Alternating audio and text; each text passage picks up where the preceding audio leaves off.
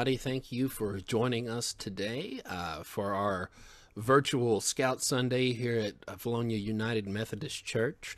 Um, my name's Jordan French, and as the, uh, the church is the uh, uh, charter organization um, for our uh, local uh, Cub Scout packs, BSA Girls Troops, and BSA troops.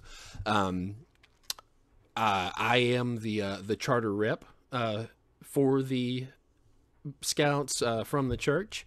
Um, and uh, I'm so glad that you joined us today. Uh, things are obviously a little different than um, any other Scout Sunday that we've uh, had before.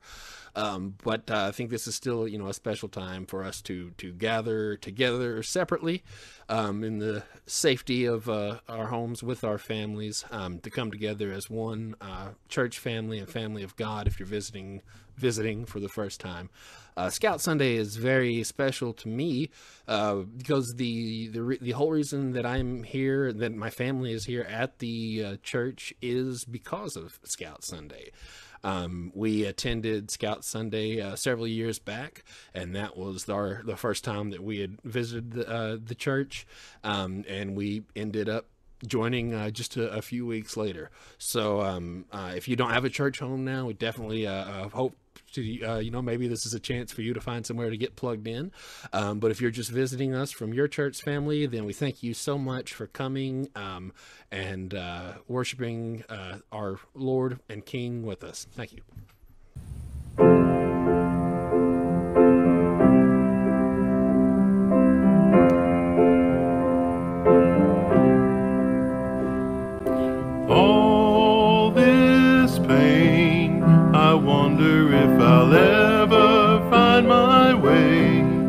I wonder if my life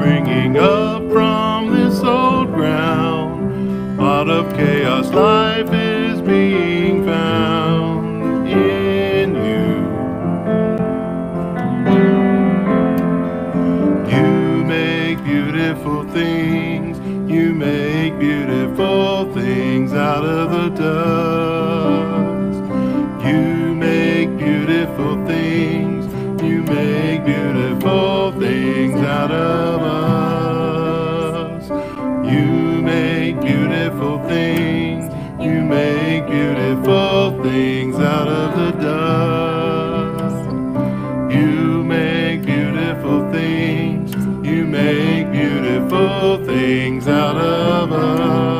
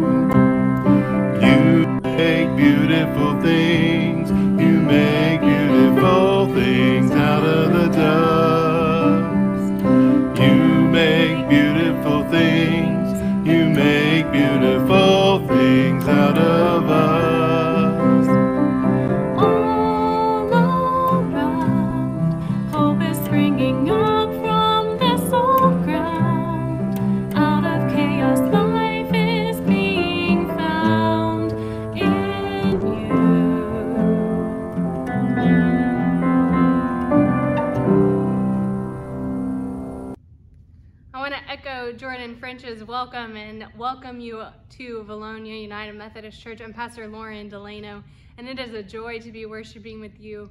We're so glad to have you visiting with us if you're part of the Scout community. We are so glad to be in partnership with you all here at our church. I want to let you know that we'll have Boy Scouts and Girl Scouts participating throughout the service. They'll be leading us in many parts of worship, and we are so grateful for that. Most of the information you'll need to participate in worship will be on the screen, but it's also available in the bulletin, which you can find in the description section on Facebook or YouTube. So if you'd rather pull out your phone and scroll through the bulletin that way, or maybe print off the bulletin so you can follow along, you can do that as well. You'll see that we have a table in the middle of our pulpit and our altar. And that table is there to remind us that we're in the midst of a worship series called Table Manners. Each week, we're learning from Jesus about what it looks like to gather with others in love, to gather around the table, but also just to love others well.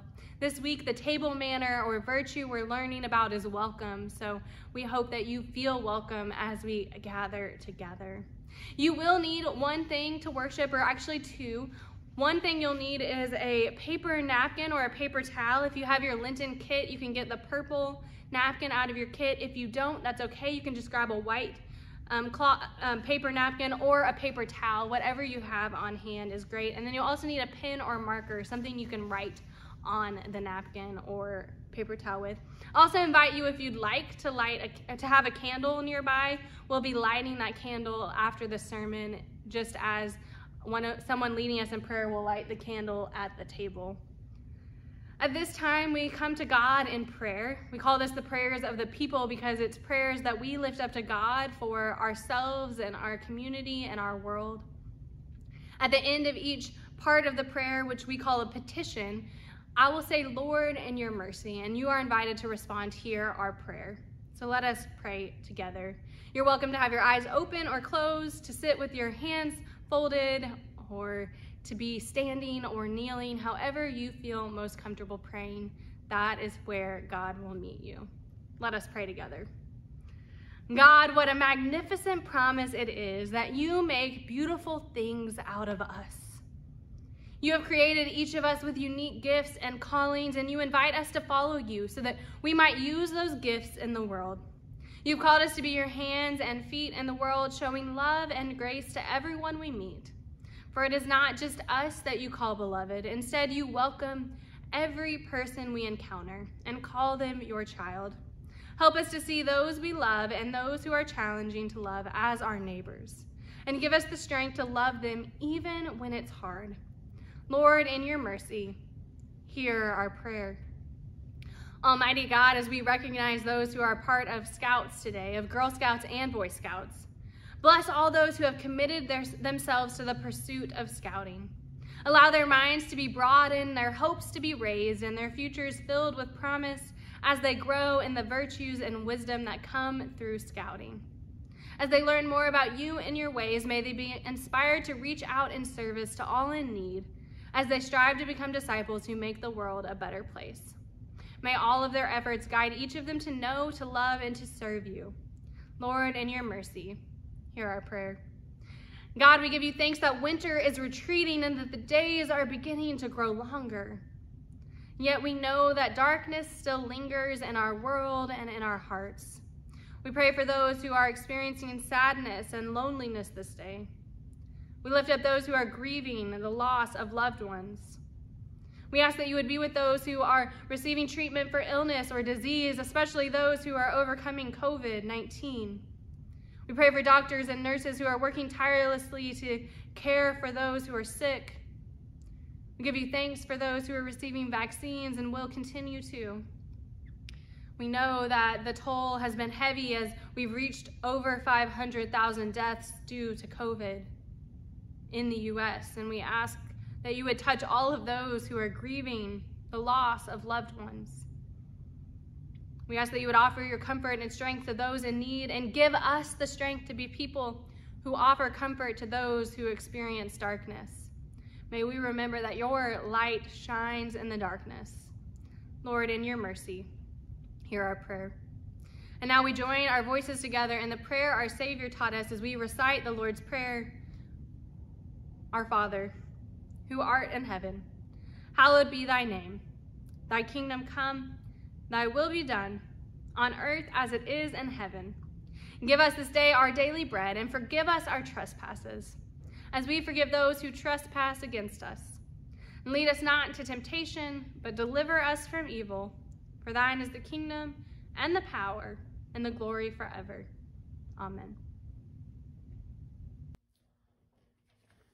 At this time, we invite you to hear these words from our Holy Scriptures.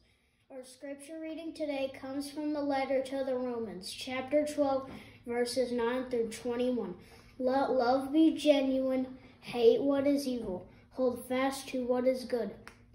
Love one another with mutual affection, outdo one another in showing honor. Do not lag in zeal, be ardent in spirit.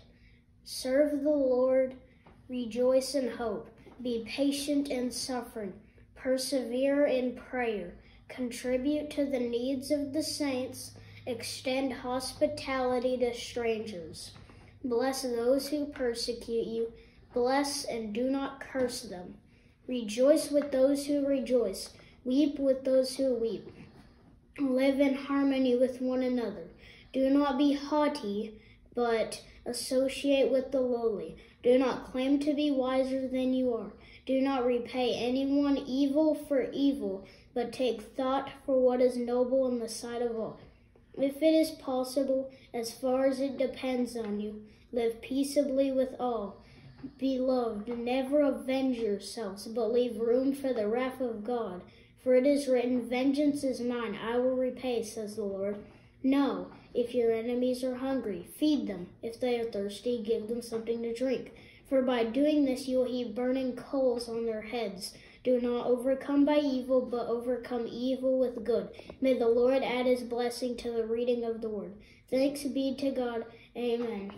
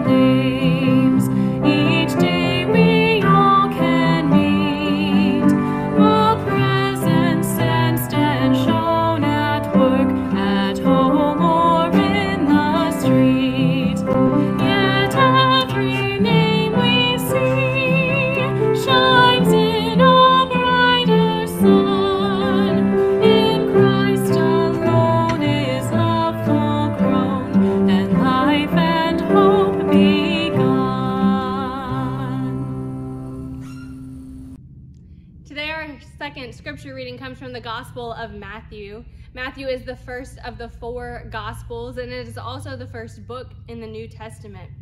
We'll be reading from chapter 9, verses 9 through 13 today.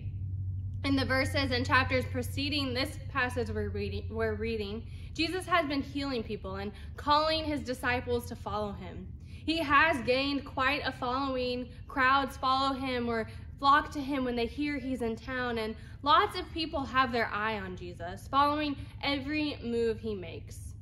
The scripture begins like this As Jesus was walking along, he saw a man called Matthew sitting at the tax booth, and he said to him, Follow me. And Matthew got up and followed him. And as he sat at dinner in the house, many tax collectors and sinners came and were sitting with him and his disciples. When the Pharisees saw this, they said to his disciples, Why does your teacher eat with tax collectors and sinners? But when Jesus heard this, he said, Those who are well have no need of a physician, but those who are sick. Go and learn what this means. I desire mercy, not sacrifice. For I have come to call not the righteous, but sinners. May the Lord add his blessing to the reading of this word, and we all say, Thanks be to God. Amen. A woman named Sarah Harmeyer moved to Dallas in 2019. She moved to a neighborhood where she didn't know a soul. So she asked her dad to build a huge table that she could put in her backyard. And she sent a message to all of her neighbors saying, Everyone's invited to my house on Friday night. Bring a potluck dish and let's get to know one another. She could not have expected the number of people that showed up. 90 people showed up at her house that night, accepting an invitation of welcome. 90 people. This experience led Sarah to begin an endeavor called Neighbors Table, an organization she started where she asked her dad to keep building tables so that neighbors could gather together. So far, her dad has built over 200 tables. As part of her organization, Sarah would promise to bring a table to anyone who requested one for free, as long as they put it in a place that would welcome people and help create community in their neighborhoods. Often, Sarah wanted to go to their first gathering at the table so she could offer a prayer and see who gathered around, and just she could remind people that 2,000 years ago, Jesus gave us a commandment to love our neighbors. And through her organization, Neighbors Table, she was encouraging others to live out Jesus' charge.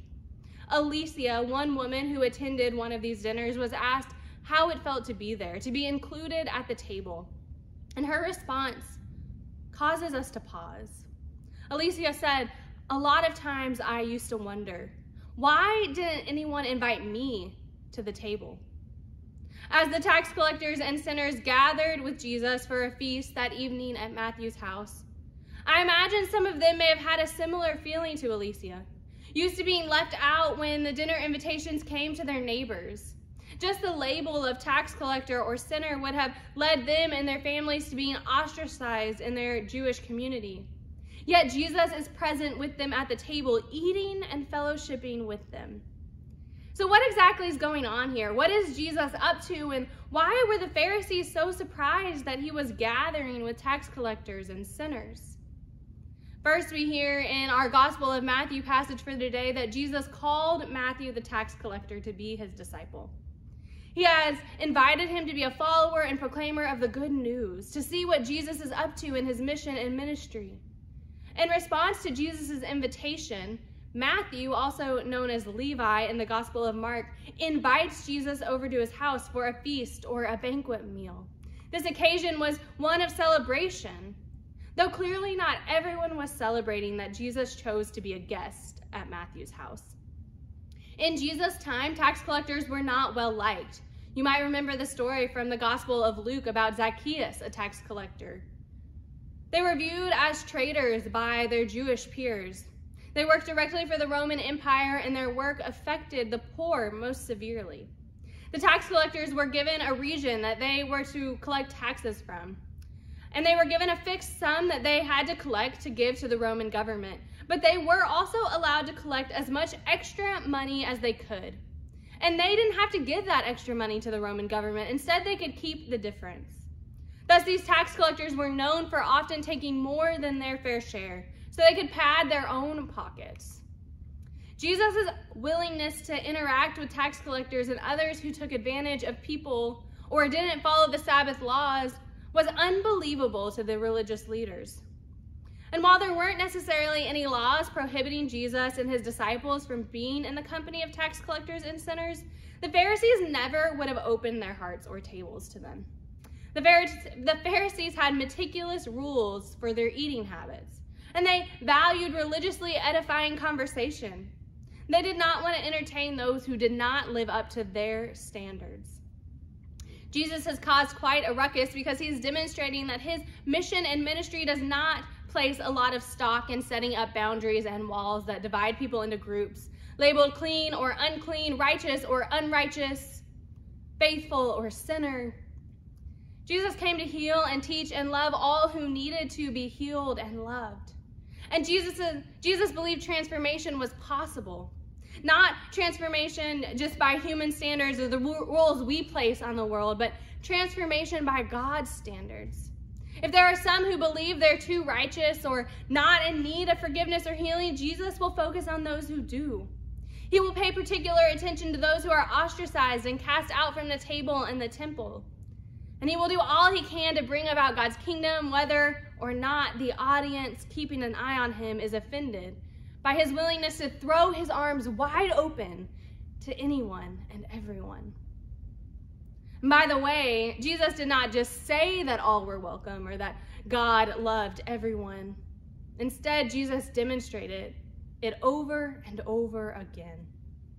After all, in Jesus' time, the people you ate meals with, the people who you associated with, said something about your identity, about your value and worth. The dinner here with the tax collectors and sinners was a banquet or festival meal of celebration, probably thrown in Jesus' honor. Table fellowship in Jesus' day was viewed as establishing a covenant of friendship.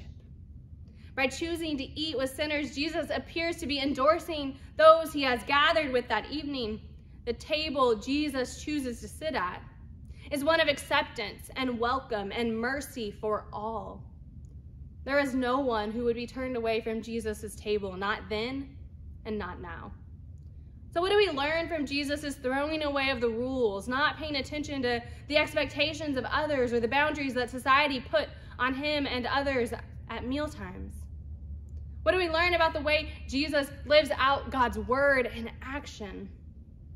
In this passage, Jesus tells us what his mission is. I've come to call not the righteous, but the sinners. Jesus is here to help those in need. He's here to model what it looks like to love our neighbors. He's here to show us that God's love has no limit, God's mercy has no margin, God's welcome has no walls.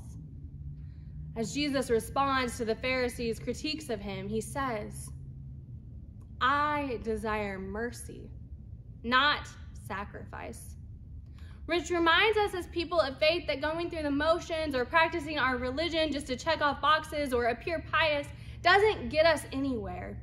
If we aren't willing to be steeped in God's mercy and share that mercy with others.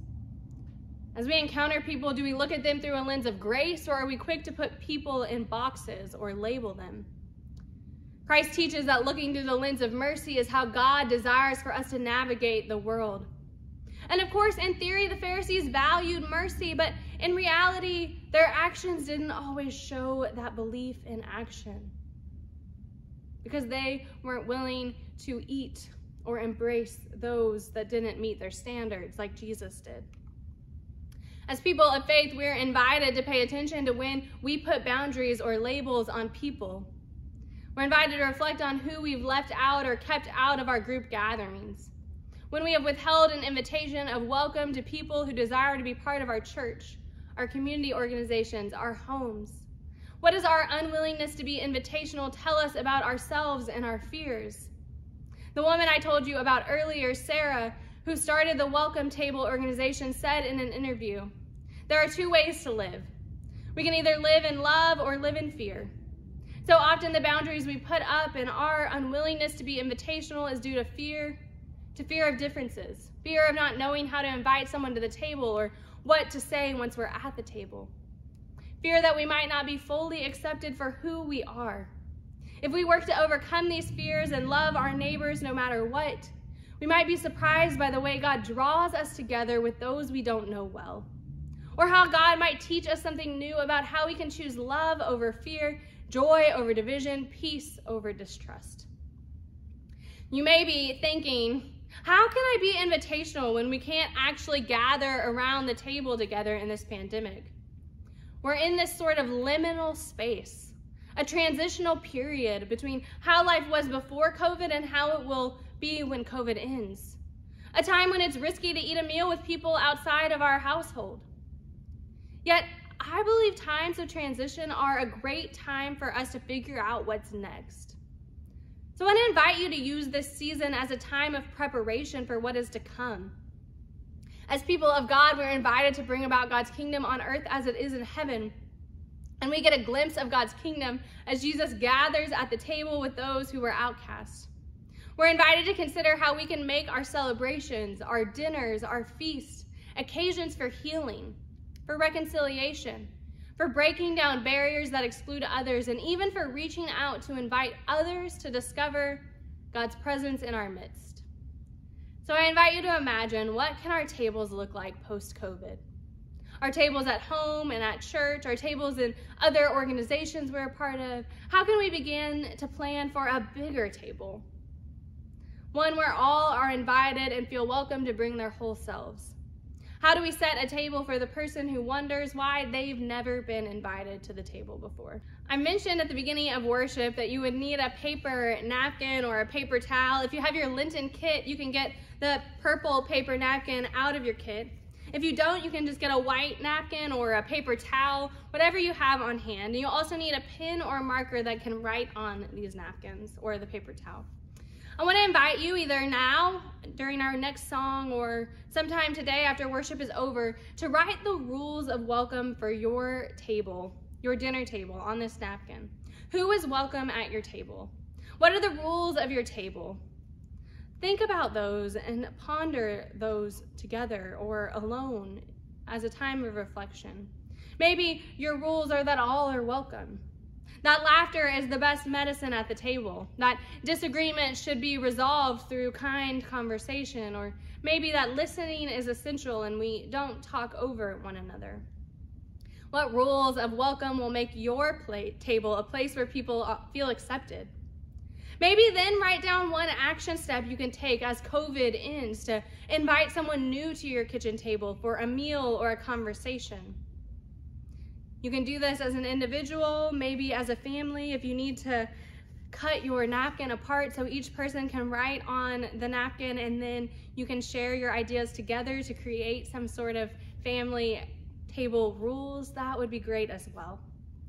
You know that some people, especially architects and artists, use paper napkins to draw up big ideas. Maybe an architect trying to show a plan to someone, or someone writing lyrics of a song that pops into their head. They want to get it down before it disappears, and sometimes all they have is a scrap piece of paper or a napkin at a meal. The napkin serves as a place to hold a dream that will eventually become a reality. May the dreams that Christ plants in our hearts to be people who offer welcome with reckless abandon. And may the rules of welcome you or your family write on your paper napkin move from a dream to a reality. Amen. May it be so. At this time, Jen Walkup is going to lead us in our weekly prayer that we do after the sermon that reminds us of the table manner or virtue that we learned from Jesus today. She's going to help us to celebrate the table manner of welcome. Today, our table manner or the virtue we learn from Jesus' example is welcome.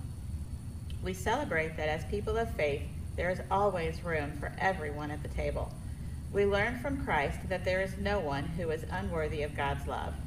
Let us pray together as we celebrate this table manner. Let us pray. God, you have created everyone in your image, and you welcome us all with open arms. We are grateful that you love us just as we are, and that even when we sin against you, your love remains steadfast. You model this overwhelming love for us so that we might love others too, not picking or choosing who deserves your love, but instead trusting that all people are welcome at your table. Guide us to pay attention to those we aren't always prone to welcome and soften our hearts to them. Let us throw open our arms and welcome all to your table, to our church, and to our lives. Amen.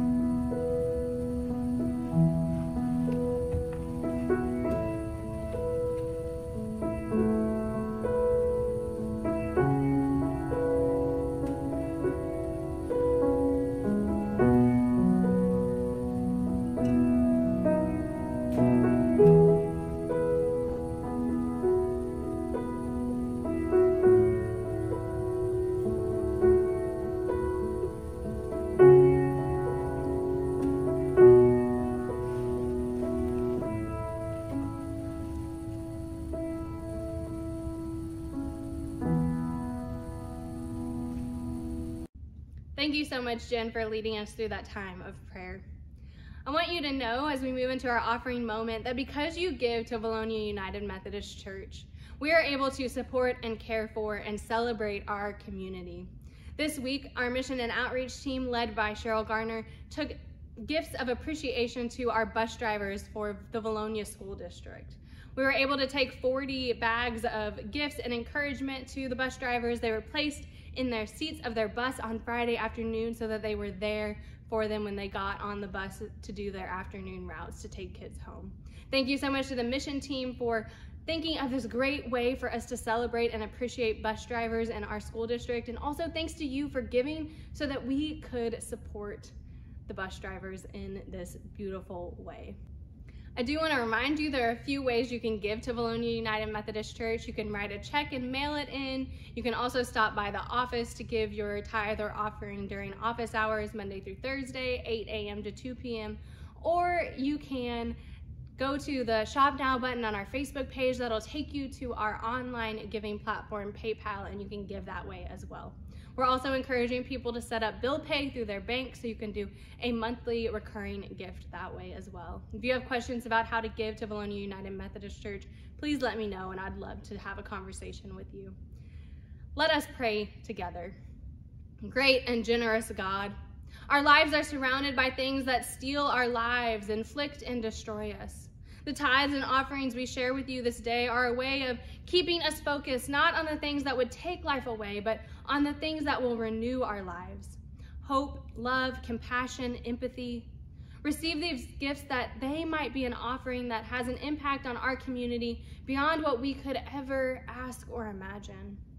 Might these gifts of our tithes and offerings give life to our community and spread love.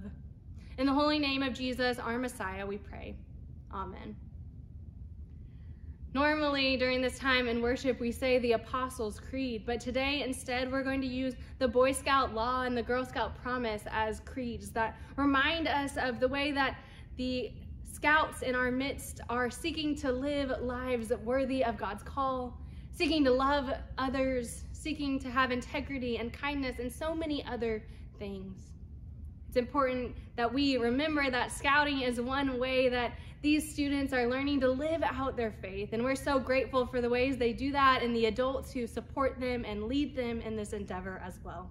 You're going to hear the Scout Law and Scout Promise, and then you're going to hear a couple of scouts talk about ways that they learn that scouting helps them to learn to grow in their daily lives and to seek after God and to love others. So let us hear these words. Helpful, friendly, courteous, kind, obedient, cheerful, rich, brave, clean, and reverent. Life is uh, to be like trustworthy and loyal. Um, you can be trustworthy by like like uh, somebody saying not to do this and you don't do that, and then like uh, helpful. You can help other people like hold the door and uh, like take out the trash and stuff like that. Hi, I'm with Troop 6444, and today I just wanted to talk to you how, as scouts, we are guided by the following values. First, we have integrity. We act with complete honesty, trustworthiness, and loyalty. Um, to each other and everyone else. Um, we have self respect and respect for others. In care, we support others and take care of the world that we live in.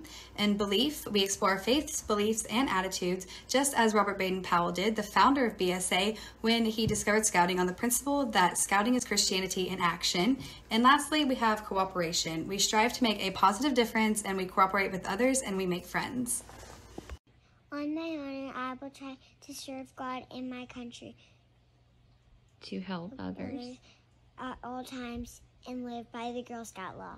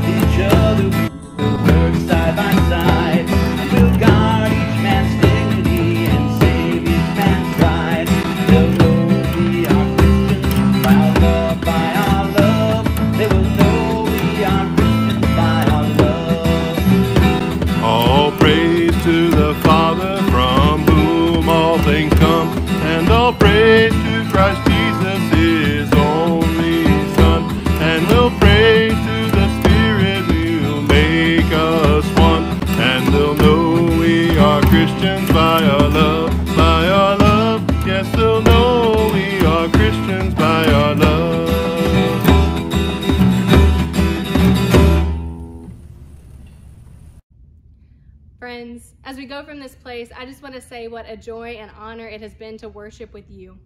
We thank the scouts who joined us today and not just worshiping with us, but who led us in worship. We thank you for the ways that we get to partner with you at Vilonia United Methodist Church. We're so happy that we have this partnership.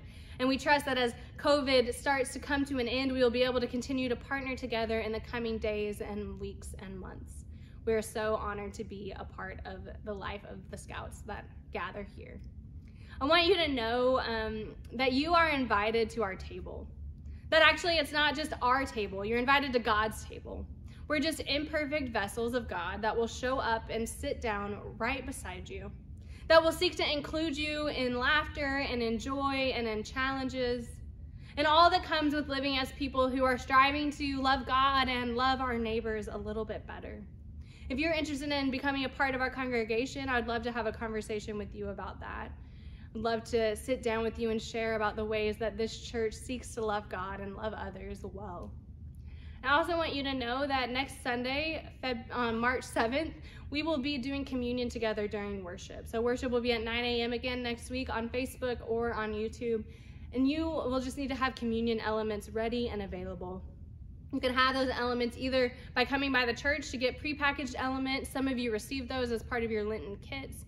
You can come by during church hours and we'll give them to you. If you don't have a if you don't have the prepackaged elements and want to participate, you just need bread or crackers and grape juice or water to be able to participate next week. You can provide those elements at home. Again, if you don't know about communion or you've never taken communion, I want you to know that our communion table is one that is open to everyone.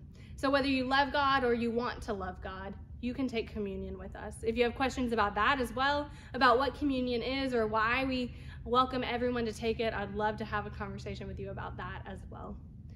As we go from this place, might we trust that God's table is wide, God's table is one of welcome, and that we are invited not just to pull up a seat at God's table, but to invite others to the table as well. Go in peace. Amen.